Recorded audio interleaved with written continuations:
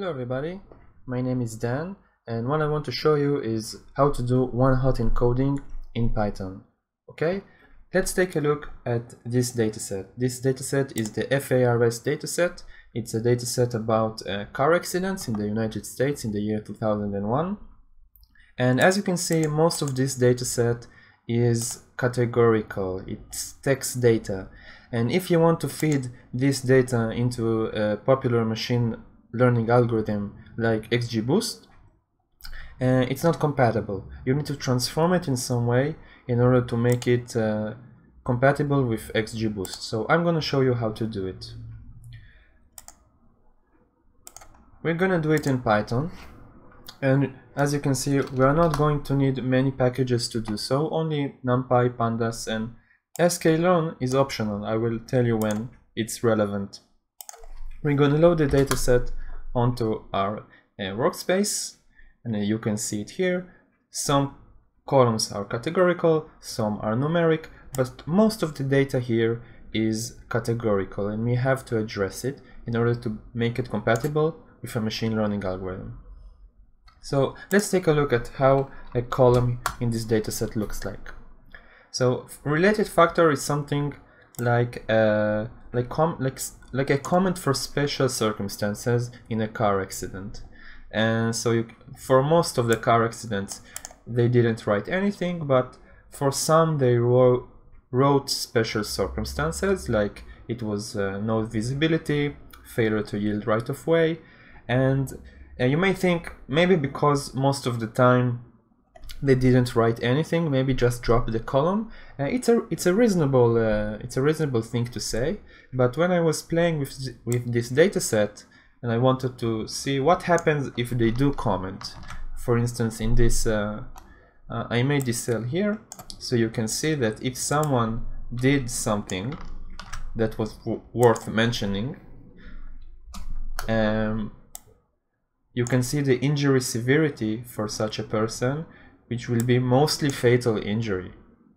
Okay, so maybe the comments are rare, but um, if they did comment something enough time, it most probably mean it, it was a fatal injury. And the first thing that was here, darting or stumbling, also, as you can see, mostly fatal injuries. So I think these comments have very strong information that the machine can learn and it's a waste to throw it away okay so we do want to keep this column so how do we handle it? One of the best way to do so is by one-hot uh, encoding. And I will show you a quick example if you don't know what one-hot encoding means. Uh, I'm gonna extract the person type column from this dataset and as you can see in this dataset the person type is like the position of the person in the car accident was he a driver passenger bicyclist okay so what will happen if we will do one hot encoding on this column? It's very easy to do so uh, with the Python lib uh, with the pandas library in Python. You just call the pandas by, by pd, get dummies, and then select the data that you want to one hot encode. So if we will one hot encode this column, what will happen? As you can see, instead of the person type column, we got new columns that each column is a unique value that was inside the person type column. And if the original row said driver, we will now have one in the place of driver. If the original row said uh, passenger, we will now have one in the place of uh, passenger and zero for everything else. So this is one hot encoding. But you may have noticed that this can cause some problems because let's look at the shape of this thing. We had one column, now we have 10 columns. Now if, if we come back to this special comment column here, let's see how many how many columns will be generated if we will do one hot encoding on them. Da da da da da da da. Yikes that's that's a lot of special values that was that is going to be a lot of columns and it's not just the problem of many columns if we are going to look at uh, following improperly, we only have one instance of it from 67,000 examples. So what will happen when we, when we will one hot encode it? There will be generated a new column which will have only one in one place and the rest will be zeros. And this will be true for vision obscured and head restraints and passing on roadside.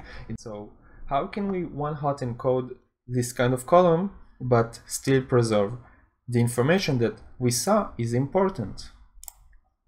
So a way to do it is thresholding. Thresholding is a way to set a minimum amount of occurrences that you allow for a special category. So you can choose it in a certain number of ways. I chose that if something appears 1.5% times of the overall dataset size, I will keep it. And if not, I will just label it rare. Okay? This becomes a hyperparameter for the for the problem. Setting it for less will make it less for uh, more forgiving. Setting it for more will make it more uh, strict about the occurrences, and this can uh, affect the performance of the model. And you you need to play with it. You need to tune it. Specifically for this dataset, 1.5 accounts for 336, and I think it's a reasonable number uh, for this dataset.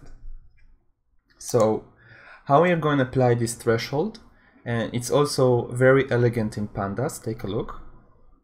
What I want to do is I want to apply the threshold only for uh, columns that are data types of objects that have text uh, data types, not numeric, because that will cause a problem. So there's a way to do it in pandas using the select data types. You choose object columns, and now you will get a list only of the columns names that have text data in them.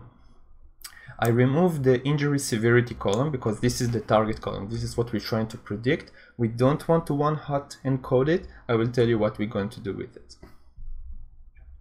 And then we apply the mask to change everything that is below the threshold to rare. And this line of code is quite of long. Feel free to pause the video to understand what was done here, but it's not that complicated.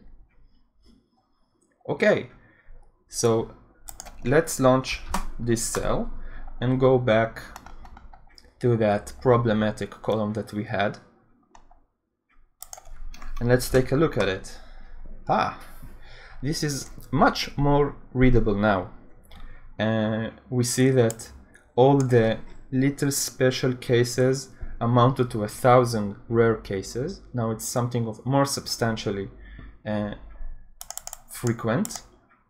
And the special comments that we saw led to fatal injuries are still here. We didn't lose them. But now we're gonna have only five columns generated from doing one hot encoding on these columns and not 20, 25 columns. So we have reduced the dimension substantially. Okay, so after we, we have done it, we can go ahead and do the one hot encoding on all the dataset. So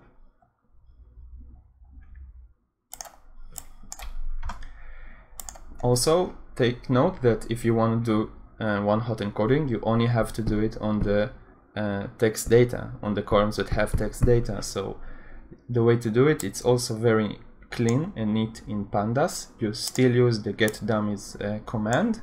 You choose the dataset that you want to encode, but you can specify the columns in a list. Now, because I already made a, column, a list of the object columns, it is very nice and easy to apply it only on them.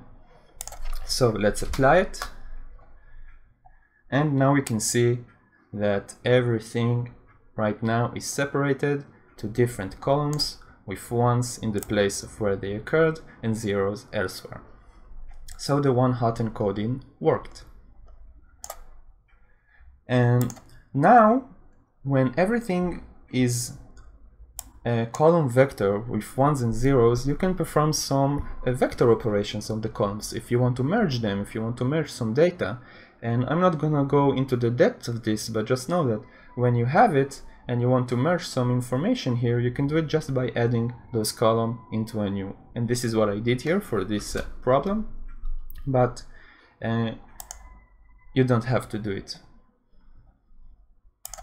Now, the last thing that we need to do in this problem is encode the, the target column. We one-hot encoded the training data, the features, and we also need to encode uh, the classes. We can't we can't keep them as no injury, fatal injury.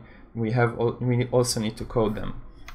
So I'm going to separate the x, the training set from the target column. And then there are two ways to do it. You can use the sklearn library. This is why I imported it earlier and there is something called a label encoder.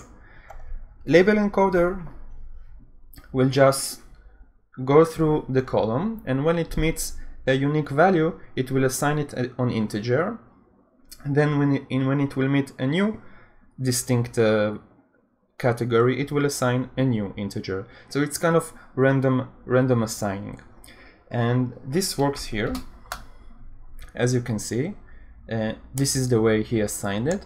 I include this uh, line of code here to make a dictionary so it will be easy to track what the encoder did if we want to go back. But if the number of classes is not very big, um, you may want to do it by yourself not let the encoder do it for you. So for instance, I made here an encoding that has some uh, intuition about the degree of severity. So zero is um, no the least serious, least severe, and four is the most severe. So it kind of keeps the intuition when you're looking at the numbers. And that is the other way to do it. Okay, so that's about it. So we saw how to do one-hot encoding in order to handle categorical data. The main thing you should consider when doing what one-hot encoding is approximating the dimensions increase when you're going to do it. Uh, a very efficient way to counter it is by setting a threshold for unique values in a column and that becomes a hyperparameter uh, in your uh, model and you have to tune it like, the rest of the hyperparameters. I hope you enjoyed this video and you learned something new for it and you are going to be able to apply it for yourself in your machine learning projects. Thank you.